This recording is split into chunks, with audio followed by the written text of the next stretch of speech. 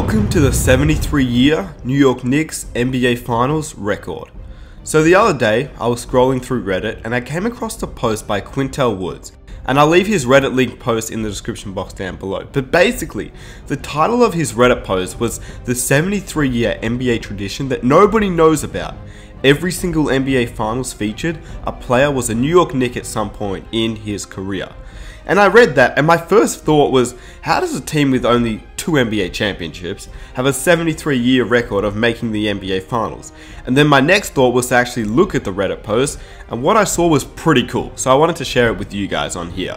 But once again, I did not make this list. Full credit goes to him. He did the research, so full credit to Woods, and thank you for your awesome work. Before I get started, I just want to say a massive thanks to everybody for the support recently on this channel. I'm slowly starting to get back to YouTube and I'm so close to 250,000 subscribers. So I just want to say a massive, massive thank you guys for all your support. It helps me out so much, so I just appreciate that. Anyway, let's get it started. So as we all know, the Raptors and the Warriors are facing off in the NBA Finals. Raptors are up currently 3 games to 1 with a chance to win the NBA Finals. And what does that have to do with the New York Knicks? Well, Jeremy Lin. Here's the answer to that question. Yeah, whilst he's only logged around 30 minutes through the entire playoffs all up this year, he's continued history by being the past New York Knicks player to make an NBA Finals each year since the 1946-1947 season. So let's rewind. Back to 1947.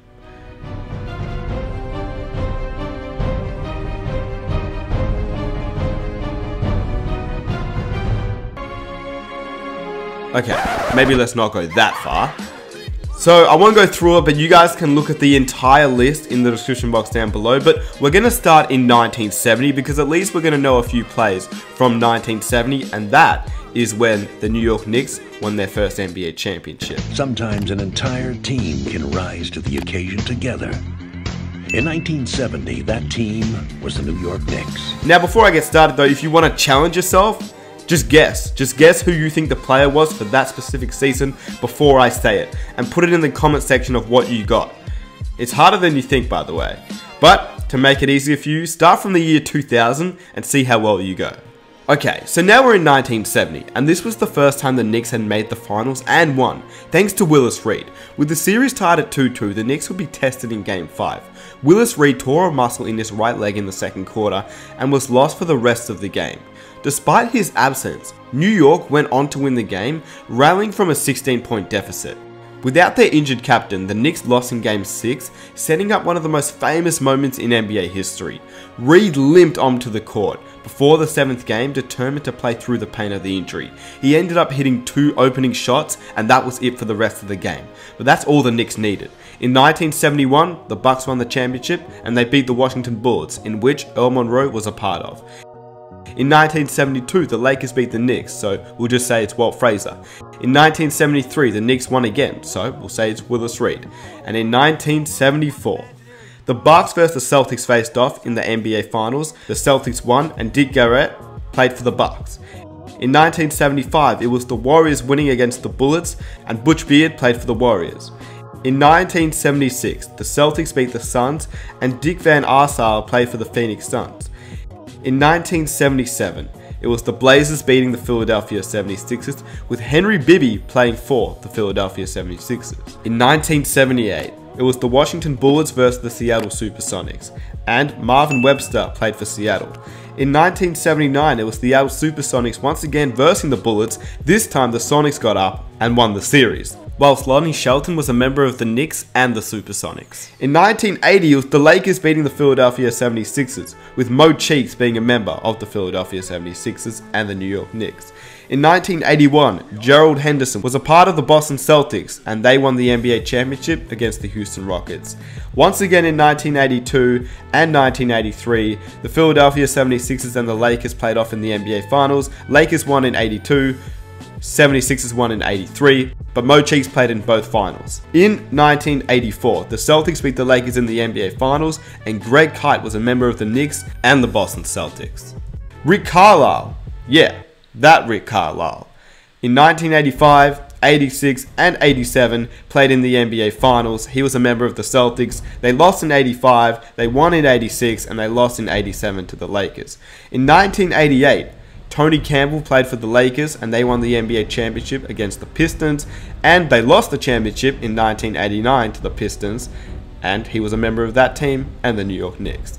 In 1990, Buck Williams played for the Blazers, but they lost to the Pistons in the NBA Finals. In 1991, Bill Cartwright, a member of the Chicago Bulls and Michael Jordan's team, won the NBA championship against the Lakers, and he was also a member of the New York Knicks. Back to Buck Williams in 1992, the Blazers lost to the Bulls, but he was a member of the New York Knicks at one point. In 1993, the Bulls versus the Suns in the NBA Finals, and Trent Tucker was a member of the Chicago Bulls. In 1994, it was the Rockets versus the Knicks, so obviously, Patrick Ewing, a member of the New York Knicks, they ended up losing, but shout out to Patrick Ewing. 1995, it was the Rockets versus the Magic, and Penny Hardaway was a member of the Orlando Magic, and then later on in the New York Knicks. 1996, the Bulls vs Seattle Supersonics. Luke Longley was a member of the Knicks and the Bulls who won the NBA championship in 96. In 1997, Howard Eisley played for the Utah Jazz and they lost to the Chicago Bulls in 97. He once played for the New York Knicks as well. Shandon Anderson the year after, because it was a back-to-back year with the Jazz and the Bulls, Shandon Anderson played for the Knicks and the Utah Jazz. In 1999, it was the Spurs versus the Knicks. Once again, the Knicks lost in the NBA Finals, and Larry Johnson, we're going to put him up there as the New York Knicks player. In the year 2000, Glen Rice, a member of the Lakers versus the Pacers. The Lakers won the NBA championship. And yeah, that's Kanye West. So, never mind. Tell me they don't look the same though. In 2001, it was the Lakers versus Sixers in the NBA Finals, as we remember Allen Iverson, but Dikembe was on that team and he played for the New York Knicks as well. In 2002, it was the Nets versus the Lakers. The Nets lost, the Lakers won. Jason Kidd was a member of the Knicks and the New Jersey Nets. In 2003, Malik Rose. He played for the Spurs who beat the Nets in the NBA Finals. In 2004, it was the Pistons versus the Lakers in the NBA Finals. Rasheed Wallace played for the Pistons who won the NBA Championship and then later on as a member of the New York Knicks. In 2005, it was the Spurs versus the Pistons. Nazr Mohammed played for the Spurs and the Knicks, and they won the NBA championship. In 06, the Heat beat the Dallas Mavericks with Michael Doleac as a member of the Miami Heat, playing for the Knicks and the Miami Heat. In 07, the Spurs beat the Cavaliers with Jackie Butler as a member of the San Antonio Spurs and a young LeBron James team. In 2008, the Celtics faced off against the Lakers with the Celtics winning. Eddie House was a member of the Celtics and the New York Knicks. In 09, the Lakers redeemed themselves beating the Orlando Magic with Trevor Ariza making an NBA Finals, and he was also a member of the New York Knicks.